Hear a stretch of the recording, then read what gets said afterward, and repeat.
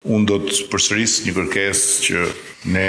e kemi bërë për të marrë mbështetjen e qeverisë federale për kandidaturën e Shqipërisë për të drejtuar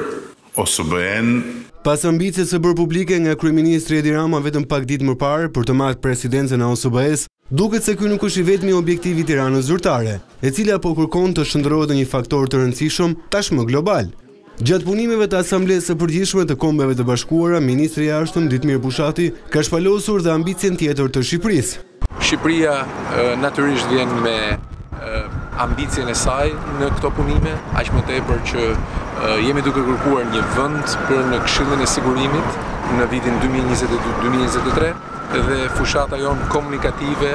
me partnerë, me vënde të cilat e njohin Shqipërinë,